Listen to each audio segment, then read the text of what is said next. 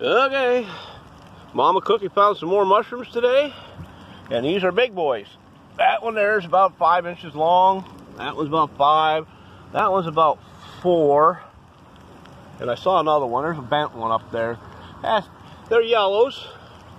They're just starting to pop here. They're beautiful mushrooms. I mean, no matter who you are, they're a beautiful mushroom and they're a tasty mushroom. And because they're so much bigger than the grays, you get more off them. See if we can get a box. There you go. We got four of them in a picture in my stick. All right, well, I'm getting rained on, so I'm going to shut down. And we'll talk to you later and enjoy the next mushroom video if we find more. Bye. We're going through rain for you.